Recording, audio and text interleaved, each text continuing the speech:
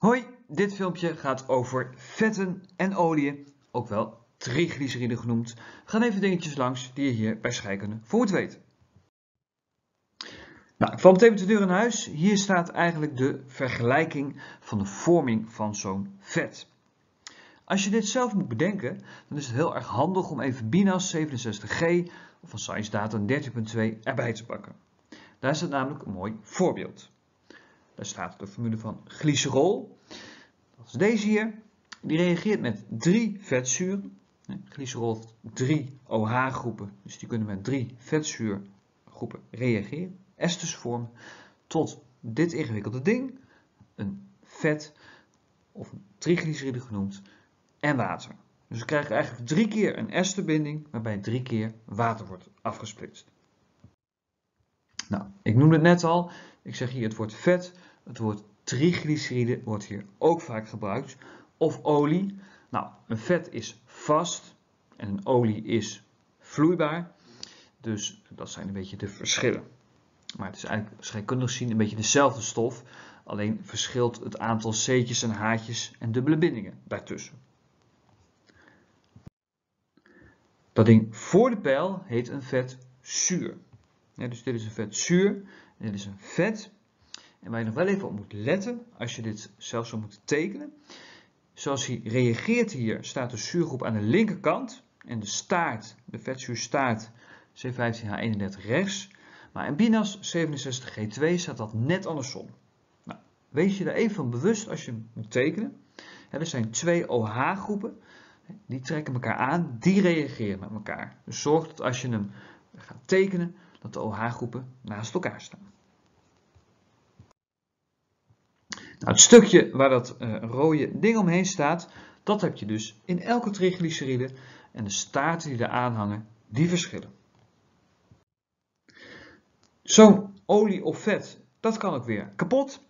Als je het opeet, dan gaat het in je darmen bijvoorbeeld gesplitst worden en dan krijg je glycerol en de vetzuren weer terug.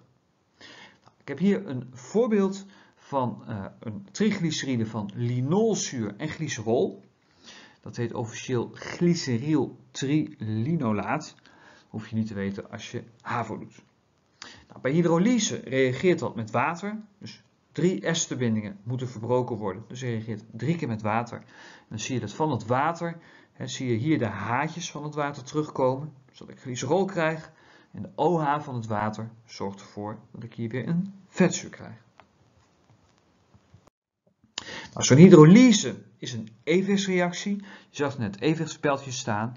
En als je dat evenwicht nou zo wil instellen dat het uh, vetzuur wegreageert, dan zou je er een basis bij kunnen doen, OH-. En dan krijg je eigenlijk deze reactie. En die zorgt er dan voor dat die evenwichtsreactie van de hydrolyse naar rechts gaat. Dus dat uiteindelijk alle olie of vet met water heeft gereageerd tot vetzuren, die weer met OH- reageren tot deze dingen, vetzuur restionen heette die. Nou, hier zien we nog eentje glyceryltrioliaat. Ik heb nou even helemaal getekend. Nou, je ziet dat het een ontzettend ingewikkeld ding is. En maar vandaar dat altijd die afkortingen voor die staart worden gebruikt. Je kunt hier zien dat er dus drie dubbele bindingen zijn. In elke staart eentje. En daarmee is deze onverzadigd. Nou, je kunt wel verzadigd maken. En dat kan je doen door er waterstof bij te doen. Nou, per dubbele binding heb ik één keer een H2 nodig. En die haartjes komen dan hier aan de C's te zitten waar de dubbele binding tussen zat. Zodat alle C'tjes wel weer netjes vier bindingen hebben. Deze notatie is wat er net ook stond, maar dan denk ik ietsjes overzichtelijker. Dus ik begin met een onverzadigd, dubbele C, dubbele C-bindingen erin. En ik eindig met verzadigd, alleen maar enkele bindingen tussen de C'tjes. Nou, dit is een additiereactie. Twee stoffen worden één en de dubbele binding gaat weg. En dat heet ook wel een vetharding. Want als het uh, verzadigd is, dan wordt het uh, harder. Dus olie wordt een vet, bijvoorbeeld. Bijvoorbeeld vraagjes. Hier eentje waarbij je moet gaan uitleggen. Is dit onverzadigd, dit vetzuur? En je ziet dus de staart en de vraag is, zit daar C-dubbele C-binding in? Nou, bij een verzadigd vetzuur hebben we de formule dat we een zuurgroep hebben. Hier even als HOOC opgeschreven, zoals hier staat, maar dan eventjes eh, uitgetypt in de molecuulformule. En als je verzadigd is, heeft de staart CnH2n plus 1.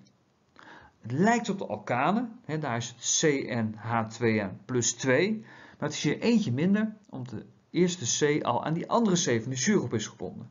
Dat is deze binding hier, dus daar zit geen haartje meer. Nou, in dit geval zou met die staart van 17 C'tjes, als je dat invult voor n, 2 keer 17 plus 1, zouden er 35 haartjes moeten zijn. Nou, die zijn er niet. En er zijn er maar 33. Dus is de conclusie, dit vetzuur is onverzadigd. Dan nog een vraagje. Deze komt uit HAVO herexamen van 2019. hier moest je een hydrolyse tekenen. En dit is even een iets ingewikkeldere. Je kunt eventueel het beeld even stilzetten en voor jezelf tekenen. Hier heb je namelijk drie, niet drie keer hetzelfde vetzuur. Maar er staat, je hebt één keer stearinezuur en uh, ook nog twee keer palmitinezuur. Nou, die palmitinezuur, de staart staat erbij, C1531 en stearinezuur C17H35. Nou, hier zie je een voorbeeld van een antwoord. Het lijkt een beetje wat ik net liet zien. Alleen ik heb hier dus nu verschillende dingen. 2 keer C15H31 en 1 keer C17H35.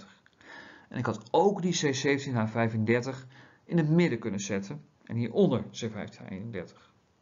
Nou, drie keer water nodig voor deze hydrolyse en ik krijg glycerol en de vetzuren weer terug. Niet drie keer hetzelfde, maar twee keer deze palmitinezuur en één keer deze stearinezuur. Nou, nog een vraagje waarbij je een triglyceride moet tekenen. Ik denk dat je nu wel even zelf kan, dus het beeld even stil kan zetten en even voor jezelf kunt gaan tekenen. Als je hem getekend hebt, hoop ik dat je hem zo getekend hebt. Je moest de staart weergeven zoals in het tabelletje, dus als C17H29 in dit voorbeeldje van alpha-linolenzuur. Dan een wat moeilijke vraag hierover.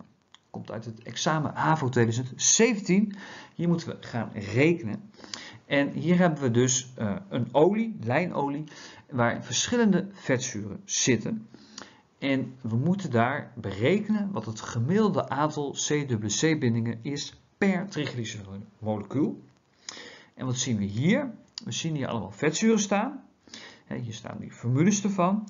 En er staat bij hoeveel van die vetzuren er per 100 vetzuurmoleculen zijn. Dat zijn deze getalletjes.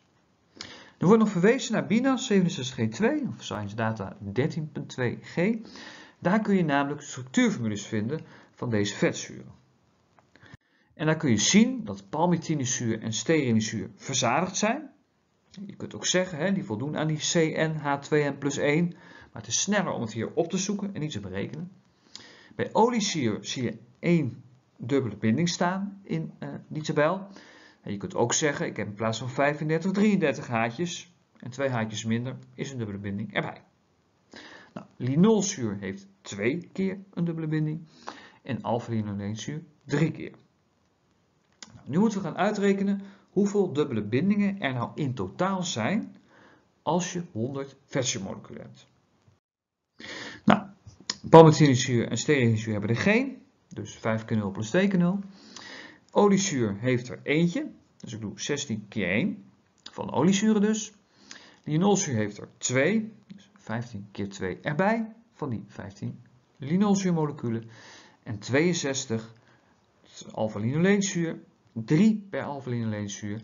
En als ik dat op ga tellen, komt er 232 C-bindingen uit. En die zitten dus in 100 vetzuurmoleculen. Nou moet ik toegaan naar het aantal per triglyceride molecuul. Nou, 100 triglyceride moleculen zouden 300 vetzuurmoleculen hebben.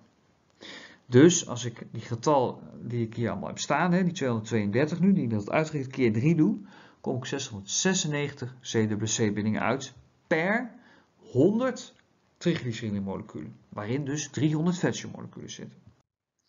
Nou, als ik dat ga uitrekenen per triglyceride-molecuul, dan moet ik het even delen door 100. want ik ging uit van 100 uh, triglyceride moleculen staat hier. En dat maakt een gemiddelde van 7,0 uh, dubbele bindingen per triglyceride molecuul.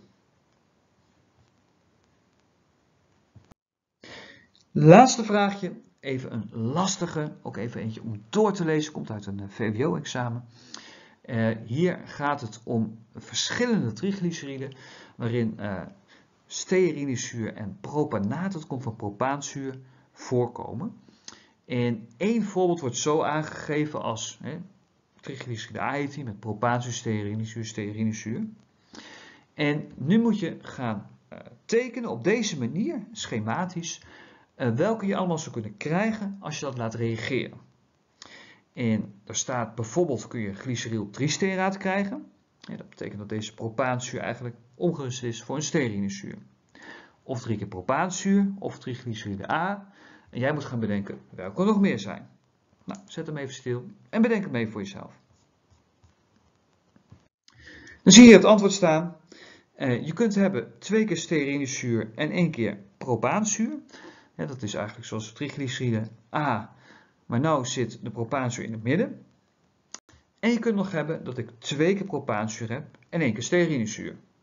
En dan kan de sterinezuur aan de kant zitten, hier ondergetekend, had ik ook boven kunnen zetten, of in het midden. Dus dit zijn de drie andere triglyceriden.